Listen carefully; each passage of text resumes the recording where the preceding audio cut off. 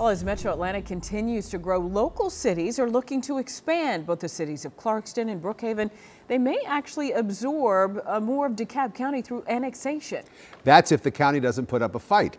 CBS 46's Ashley Thompson spoke with representatives of both cities to learn more about their plans.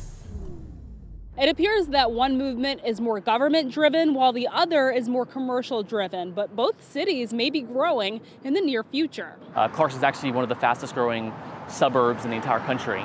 An incorporation movement is underway in DeKalb County. The city of Clarkston, now just 1.4 square miles, wants to grow. The Clarkston campus of Georgia State, of Georgia Piedmont College, Clarkston High School aren't in the city limits. Mayor Ted Terry says there are two annexation proposals on the table. One, which would annex people in places with a Clarkston zip code. The other, which would annex an even larger area of DeKalb County to include North DeKalb Mall. This one would double Clarkston's population. Our, our preference is to do an actual vote. Uh, the other method is a 60% petition drive. The citizens uh, are using state law to petition the government to be included in the city. Over in Brookhaven, another annexation push, this one from a developer. This is 11 parcels encompassing 27 acres near the intersection of North Druid Hills Road and Briarcliff.